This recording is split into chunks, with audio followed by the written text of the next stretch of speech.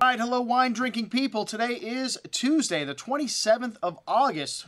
27th of October. Wait a minute. All right, hello, wine drinking people. Today is Tuesday, the 27th of October. Whew, November just around the corner here, and uh, a lot of great releases coming out this time of year, like our George Comte de Vogüé wines from Burgundy. And every year I say, man, is it worth putting out a release? We only get like 24 bottles in total of four different wines from this famous property, as old as the hills and infinitely more respected, as Charles Dickens would put it.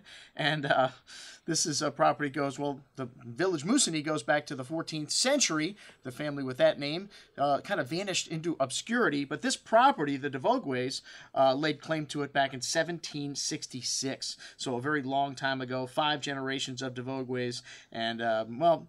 Uh, you know, this is a very fufu shishi area. And when you own Grand Cru, some of the greatest Grand Cru vineyards like Bonnes-Mares and Musigny, a lot of these owners lived in Paris. But the Georges Comte de Vogüé, the most famous owner in recent history, uh, did play a big part in at the property, although also did live in Paris. But these wines, like I said, Musigny, my favorite Grand Cru of all, only 4,000 cases in total of the some odd dozen or so producers that make it. So tiny, tiny amount of Musigny for the world. That's why we only get six bottles a year. The Bonnes-Mares at the other end of the Chambolle Musigny village, uh, also fairly small, about the same size as Musigny, maybe a little bit bigger, but uh, uh, one of my favorite Grand Crus as well. And this producer has got quite a bit uh, big holdings in each of those areas. And then Chambolle Musigny, my favorite village of all. I just love the finesse, and even though they're not big wines, uh, they are very nuanced wines, and these wines last a long time. Look, we've got a 90 in Magnum of the Bonnes-Mares here. This wine's still a baby.